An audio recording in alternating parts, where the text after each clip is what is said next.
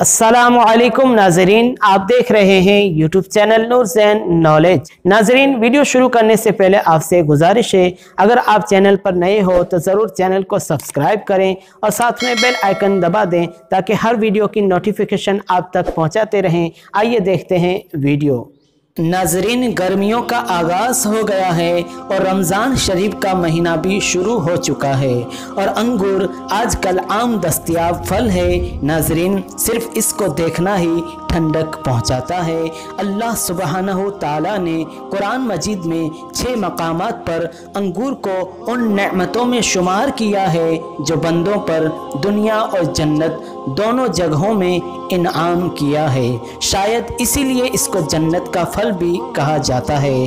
ناظرین، پھلوں کی غذائیت تمام غذاؤں میں اہم ترین اور لطف ترین حیثیت رکھتی ہے۔ اللہ تعالیٰ نے جہاں انسان کے لیے مختلف اقسام کے اجناس، سبزیاں، ترکاریاں اور دیگر نعمتیں پیدا کی ہیں، وہیں مختلف قسم کے موسمی پھل بھی ایسے پیدا فرمائے ہیں جو ذائقہ اور لذت کے اعتبار سے بہترین تاثرات سے بھرے ہوئے ہیں۔ قدرت نے ان پھلوں میں شفا بخشی کے کمالات سمو دیے ہیں کہ انسانی عقل حیران رہ جاتی ہے۔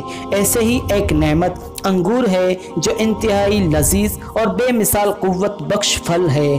خاص طور سے خواتین کے لیے بہت ہی فائدہ مند ہے کیونکہ اس میں بھرپور توانائی پائی جاتی ہے۔ یہ جسم میں تازہ اور صاف خون پیدا کرنے کا سبب بنتا ہے۔ اس کے اندر غذائیت اور توانائی کے بھرپور خزانے موجود ہیں۔ ناظرین، منقول ہے کہ رسول اللہ صلی اللہ تعالی علیہ وسلم کی انگور اور تربوز مرغوب خزائیں تھی حضرت سیدنا عبداللہ بن عباس رضی اللہ تعالی عنہ فرماتے ہیں کہ میں نے نبی کریم صلی اللہ تعالی علیہ وسلم کو انگور کے کھوشے اس طرح تناول فرماتے ہوئے دیکھا کہ انگور کا چھوٹا سا کھوشا منہ میں لے کر دانے توڑے اور تنکول کو بار کھینچ لیتے۔ ناظرین، اللہ کی نعمتوں میں ایک نعمت انگور ہے جو انتہائی لذیذ اور بے مثال قوت بخش پھل ہے۔